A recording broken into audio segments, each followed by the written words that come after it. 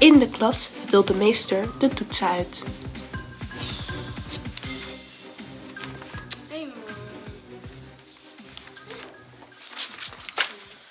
Zoals jullie weten is de toets heel slecht gemaakt.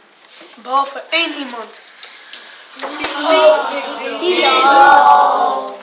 Kom maar uit de klas, jongen. Ik vind dit joch echt geweldig. Hij heeft alweer een tien. Echt geweldig. Jullie zullen eens een voorbeeld moeten nemen aan hem. Jullie moeten niet te veel gamen, maar meer leren, zoals hij dat doet. Ieder, trouwens, ik heb de toets nagekeken. En iedereen heeft een vijf. En behalve Bilo, die heeft weer een tien. Ja, dankjewel, meester. Mag ik alsjeblieft gaan zitten? Jullie zullen toch echt een voorbeeld moeten nemen aan hem. Hij is echt geweldig. Dit is echt een geweldig kind, joh. Echt waar. Heb ik al gezegd dat ik je zo geweldig vind? Mag ik gaan zitten, meester? Ja, gaan we zitten. Dan gaan we verder met de rekenles. Plotseling stormt de moeder van Bilal de klas binnen. Meester Hans, we hadden een afspraak. Oh ja, ja, eh, kinderen gaan maar naar huis.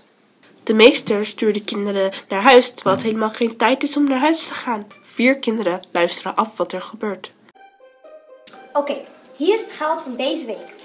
20, 5, 5, 50, 10 en 20. 95 euro. Oh ja, dankjewel, was het.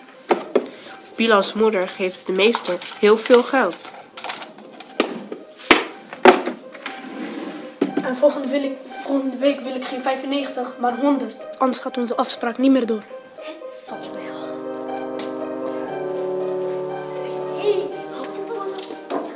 De kinderen vragen zich af waar dat geld allemaal voor is. Ja, zag je dat? Hey, zag je dat? We hebben gezien. Dit, dit moeten we echt uitzoeken. Hoe? We, we, we moeten morgen een woordje met Bilo praten. Ja, dat is het morgen. Morgen. Ze besluiten het morgen aan Bilal te vragen.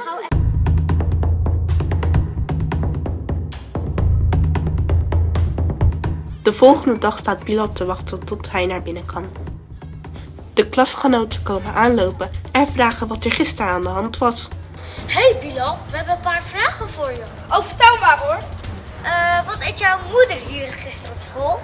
Oh, ze moest uh, aan meester Hans wat geven. Ja, dan moet het betaald gewoon de meester. Oh nee hoor, ze moest gewoon uh, kamp betalen. Maar, maar de kamp is net geweest, dus hoe kan het dan? Hé, hey, kom op Bilo. Zeg het dan gewoon. Oké, oké, rustig. Ik zeg het al. Mijn moeder verkoop, koopt de meeste Hans om omdat, uh, goeie, omdat ik goede cijfers dan ga halen. Wat? Dat mag dat niet. Dat mag helemaal niet. Dat, verklaart alles. Ja, dat verklaart alles waarom wij al altijd slechte cijfers halen en jij altijd de beste bent. Ja, denk dat ik het ook leuk vind. Bilal's moeder geeft de meester geld zodat hij goede cijfers krijgt. Zijn moeder wil namelijk heel graag dat hij naar het VWO gaat. De kinderen besluiten alles tegen de directrice te vertellen. Nou jongens, vertel, wat is er aan de hand? Hij zegt vast Stop! Hij stond op. Isha, vertel. Nou, eh, mevrouw van Versteeg, de moeder van Bilo kwam gisteren om de meesters om te kopen voor goede cijfers. Dat meen je toch niet? Is het waar? Dat is helemaal niet waar. Hoe durf je dat te zeggen? Bilo, wat heb jij te zeggen? Ja, het klopt. Het is waar. Hier is het bewijs.